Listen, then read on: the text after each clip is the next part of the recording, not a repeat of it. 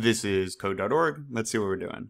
This program works identically to the one you just wrote. Okay, in part three. If you didn't do that, go back and do that. If you need help, watch my video.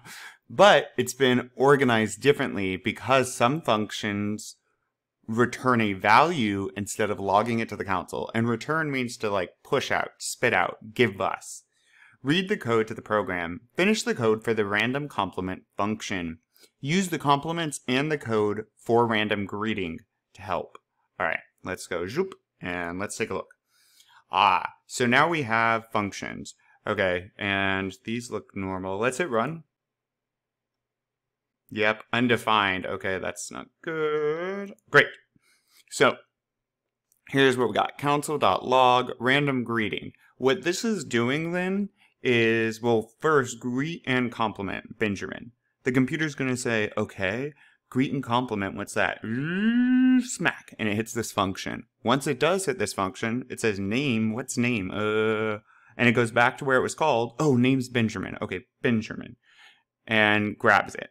So now name is Benjamin and we're running the function. We dip down and we're going to console log random greeting plus name. What does that mean? This is still a function call. So we're saying log to the console random greeting and the computer says log random greeting. Okay, wait, what's log? What what's random greeting? Smack. Hits this and it runs the code.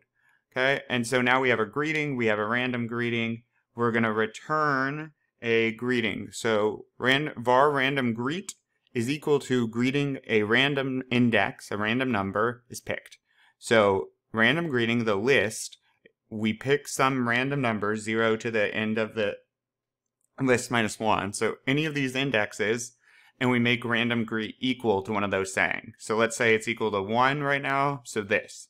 Or if it's equal to index zero, random number comes zero, good day that would mean random greet is good day. We then return random greet. So we say, okay, give back random greet.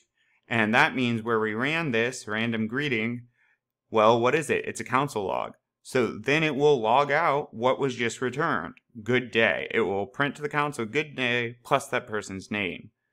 Now, same thing here, console log name plus random compliment. Computer says, what the heck's random compliment? Smack hits this, and you can see the list, right? We have a list of random compliments, but we're missing something.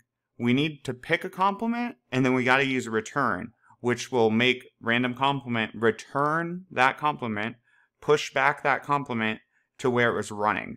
So when a function finishes like this, when it, we return, the function's over and it returns it exactly to where we were running in the code.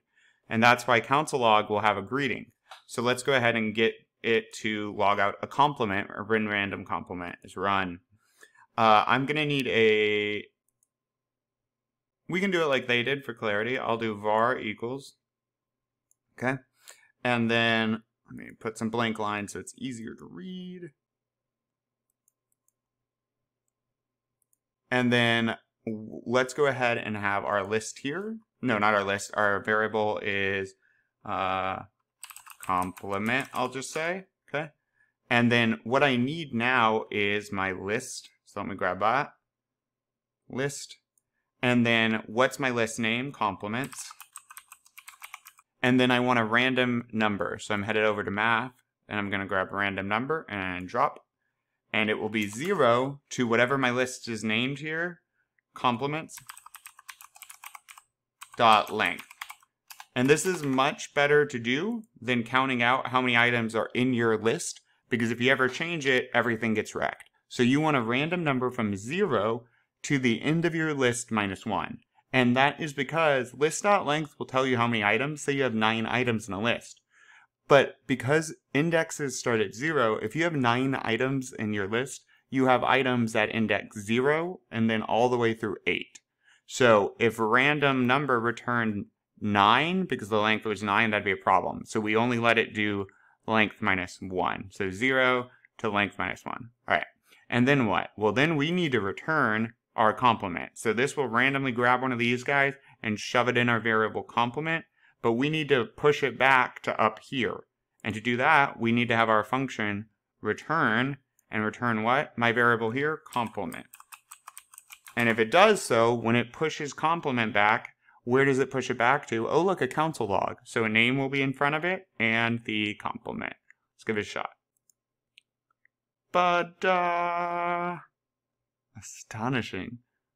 These are cool. Great. That is, yeah, these are getting tough, but important stuff. Let's, uh, oop, not a break. Let's keep going.